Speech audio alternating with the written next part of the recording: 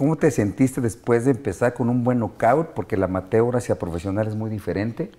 Los guantes, el vendaje, no careta, no, no camisa. ¿Te gustó el cambio?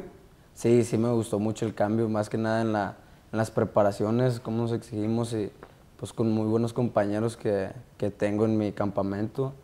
Y sí, fue un cambio muy diferente el amateur profesional. Pero no es presión para tanto para Don Silva como para ti. Ahorita está como referente en Monterrey, que los volteen a ver, porque Monterrey es de puro fútbol, están los rayados y, y, está el Tigres y pues nada más. Sí, nada más. Y, pues sí, la gente de Monterrey va, va a saber de estas dos nuevas superestrellas que van a aparecer en el boxeo mundial. Que uno ya está al 60, que yo que Aaron Silva ya está. Sí, estamos Nada más que le avienten a un gallo de los que pidió, para que de ahí se agarre. Sí, sí. Y yo quiero pensar que lo van a tener metiendo en las mismas eh, funciones, ¿no? ¿O ¿Cómo va a estar? Eh, bueno, pues ahorita estamos, tuvimos la oportunidad de trabajar con los dos en esta de la Ciudad de México, donde estuvo encabezando la Floyd Mayweather. Eh, ya están pláticas con promotoras nacionales como internacionales para ver eh, dónde va, va, a terminar su, su, contrato, dónde va a quedar.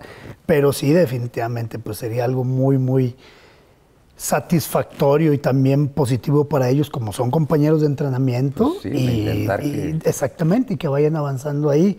Eh, buscaremos eso mientras no tengamos un contrato fijo, claro que vamos a intentar llevarlos a Pues ya trabajan con Golden Boy, ¿no? él no está firmado, Silva ya está firmado, pero nosotros ya tenemos ahí Pero pues la junto con pegado, ¿verdad? Pues sí, Sí. va a estar con el mismo lado. Aparte, Golden Boy es buena empresa. Claro, sí. Y otra más que se acaba de asociar con el tío Turki y compró una parte de Golden Boy. Va a haber peleas grandes y de... Claro, sí, pues van a estar mucho mejor remuneradas ya que de esa parte del país donde este promotor que ahora está apareciendo y está teniendo una, un gran impacto también pues, en el tema económico, que es algo donde a final de cuentas es, es muy importante para los muchachos que vayan haciendo su patrimonio de la manera correcta, ¿verdad? Y qué bueno que haya gente así que de repente se acerca a, ayudarte como boxeador. Sí. Porque a nosotros nos tocó, pues no, güey, nos tocó más que ayudarnos, que nos, estaban- nos estaban robando, cabrón. Entonces, por eso aquí ni les damos espacio cuando los menciona. Digo, nada, aquí es el innombrable, cabrón, porque a todos nos robó. Aparte, queríamos platicar con él porque, pues, nos vimos en Monterrey, varios conocidos en común. Y yo dije, pues, como que un abogado está ayudando al boxeo, que también hay un regiomontano que cuando yo hacía las funciones de box me ayudaba mucho. Era el que ponía la feria. Y, y yo le decía, pero, partner, pues tú qué?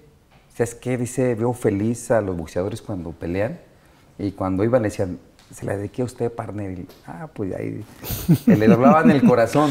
Ya. Y ahorita está queriendo regresar. Sí, los ¿no? regios están más por ayudar y de corazón o pensando en que pues también se va a remodelar todo, ¿no?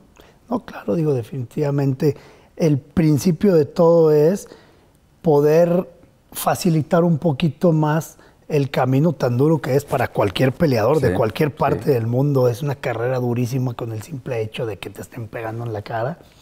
Yo sé, yo peleé profesional, no boxeo, peleé MMA, peleé kickboxing, No, Muay Thai. Y yo sé lo que es entrenar duro y que te peguen en la cara y, y- y- y todos esos efectos que tienes dentro de ti también cuando no tienes el resultado correcto. Y, ay, caray, es una carrera durísima. Sumándole también que, pues, las capacidades económicas a la edad de que empiezan los muchachos, No pues, hay. pues, ¿cómo, ¿cómo puedes costear bastantes de las cosas? Entonces, es el compromiso que nosotros tenemos como empresa en Demat Group con mis socios. Eh, pues Benjamín, que bien lo Benjamín, conoces. Y, cabrón, me, me dio de comer una pizza fría, güey. No quiso gastar en Los Ángeles. Salimos de la función, estábamos en el hotel, creo que fue. No me acuerdo la función, en el estadio de. Donde antes jugaban Chivas y es un estadio de. sí. Por San Pedro. Nos vimos ahí, me dice, ¿qué campeón vamos a cenar? Pues sí, allá había una pizza fría, güey. Fue, pues, chingues, no, no había nada, güey. Al Yo también digo, ahí te los encargo y te voy a mandar una pizza con ellos, ¿eh? No, no chingues. Viene cada rato, también él como lo hace como que más de corazón, ¿no? claro, sí, digo, él Igual, igual que tú, Sí. pensando que en un futuro, pues, No, claro. todo es- se debe regresar, ¿no? Exactamente, pero lo más importante pues es ayudar a que los muchachos salgan. Digo, eh, a veces es muy frustrante estando ahora ya nosotros de este lado, vas y tocas puertas y pues, ¿qué te puedo decir? Tú lo sabes a la perfección.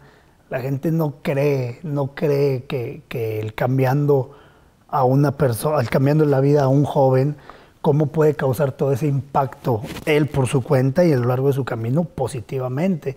Pero pues a veces la gente, aunque tenga lana, no quiere soltar lana. ¿Por qué? No, no, les interesa. Simplemente no tienen el interés de ver una mejoría en el tema social.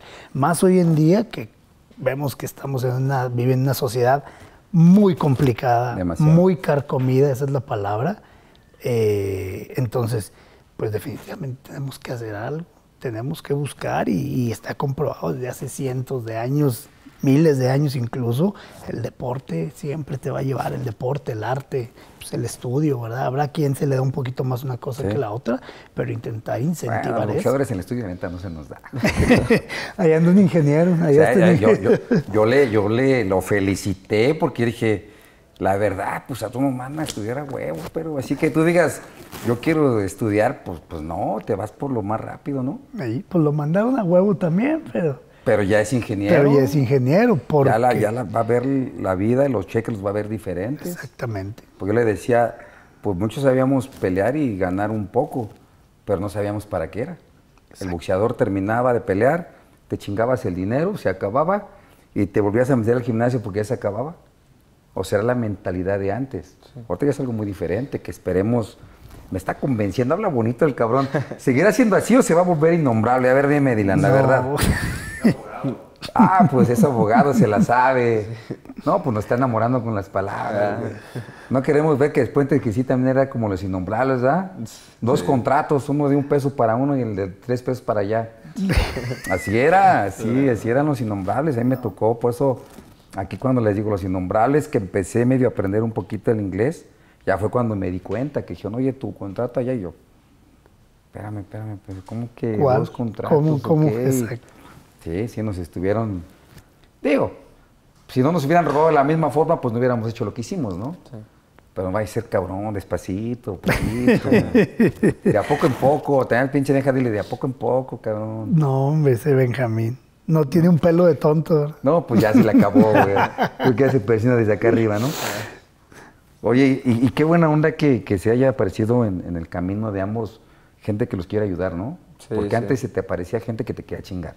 Sí, no, la verdad que yo estoy muy agradecido con mi equipo de representantes que desde el día que me conocieron, me miraron y ellos sabían que yo tenía algo muy diferente y pues estoy completamente agradecido con ellos y pues vamos para arriba, primero Dios.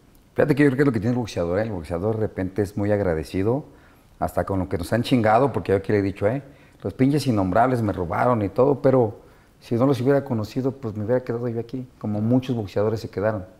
Ya de repente di el brinco y todo y, y pudimos cambiar de innombrables, pero al final del día salió lo mismo, no, menos, fíjate, menos con Golden Boy. Golden Boy, creo yo que de las empresas con las que trabajé, termina y está tu cheque y te lo da personalmente. Yo creo que ¿por qué habrá sido? ¿Porque fue boxeador? No, pues tiene un tacto diferente. Quien, quien haya sido atleta y, entienda el esfuerzo y todo lo que conlleva atrás de un peleador, pues no, no cometes el pecado así tan, tan así, creo yo. Sí, digo. sí, pues yo lo he visto con él. Tú bajas y te dice, fírmame aquí, a ti. Sí. Y antes pues te lo mandaban con el innombrable. Sí.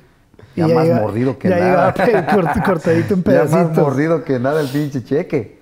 Pues yo creo que Golden Boy es gran, gran, gran acerto. Y aparte, ahora que se acaba de asociar con el tío Turki, yo creo que vienen cosas muy importantes para ellos, ¿no? Sí, bastante. Pues esa, esa asociación que acaban de hacer abre panoramas para pues, Medio Oriente y todo por allá, que, que bien les gustan bastante los, golpes de eh, los deportes de contacto, perdón, entre ellos el boxeo, que pues, ha sido el, el, mayor referencia de los golpes de contacto y seguirá siendo, independientemente que otros deportes vayan teniendo crecimiento y esa alianza pues, les va haciendo más... Eh, a ellos les conviene. Exactamente, pues les va dando, les va abriendo muchísimo más puertas, ir del otro lado, estar viajando para otros países que donde se pueden abrir bastantes oportunidades.